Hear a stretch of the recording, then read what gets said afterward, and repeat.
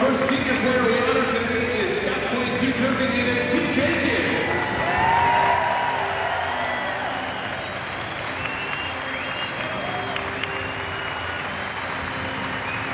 The all-time leading scorer in ACC play for the Irish, TJ also ranks first in assists, steals, three-pointers, free throws, and games played in ACC action for Notre Dame.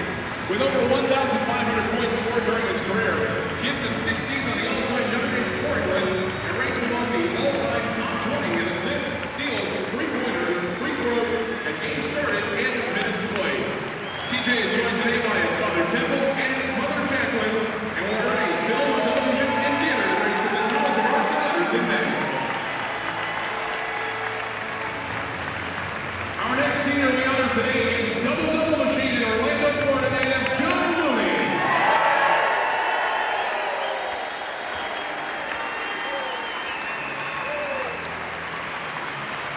John's production on the court over the last two seasons placed him one of the best footwork players to ever put on an Irish uniform.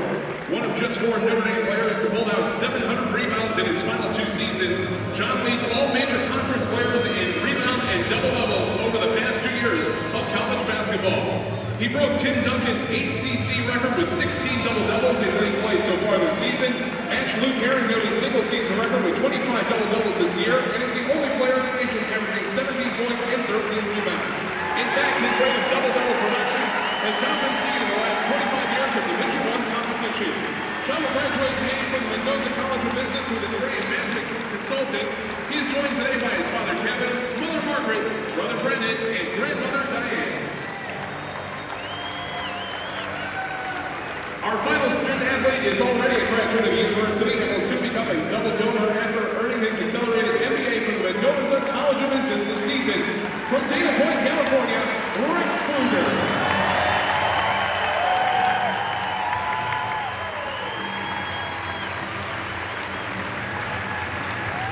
One of the most clutch players in Notre Dame's history, Rex has played game plays to help the Irish beat North Carolina in this building just weeks ago.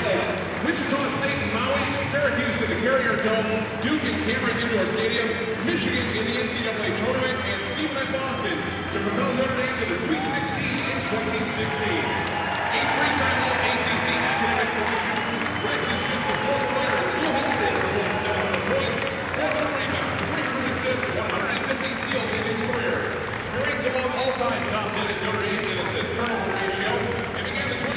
2017 season by playing 11 consecutive games without a turnover.